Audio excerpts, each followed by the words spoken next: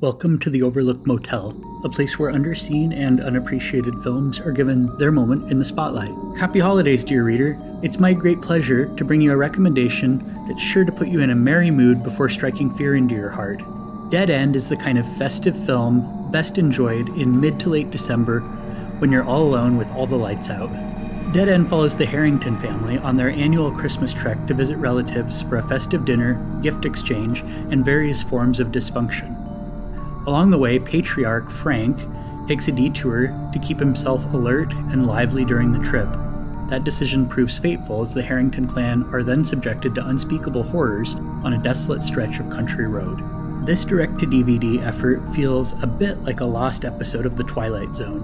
It features a twisty narrative that gives the viewer every reason to question what the hell is happening right up until the credits roll and it isn't until a post credit sequence that we truly get any kind of clarity regarding that which we've just seen, and even still, the answers we're given aren't the definitive type, more so than suggestions. But those not averse to ambiguity are likely to find much to appreciate about Dead End. The film gives the viewer precious little information regarding what particular brand of evil plagues the stretch of road upon which the central characters are traveling, and that serves to make the proceedings that much more suspenseful. We know something is very wrong, but we have very little to go off of, and that uncertainty is likely to make the experience all the more harrowing to potential viewers. The audience is just as in the dark as to what's happening as the protagonists are. The flick finds the family in a place of total isolation following their detour off the interstate. They are lost, they can't get a cell phone signal, and they cannot escape the gloomy stretch of road they're on, compounding the isolation with a sense of claustrophobia. For that reason, Dead End can be an uncomfortable film to watch, but that's by design, as the unease this picture invokes serves to enhance the mounting tension.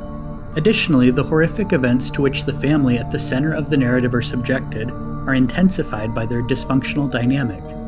None of the members of the Harrington clan seem to actually like each other. It's clear they love one another, but their characters are at one another's throats almost instantly. As such, there is a certain unease before the malevolent elements of the story are even fully present.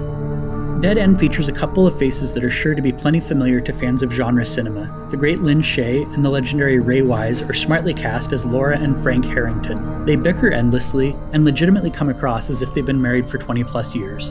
Mick Cain and Alexandra Holden play the Harrington children, and each is serviceable in their role, but it's Wise and Shaye that really steal the show.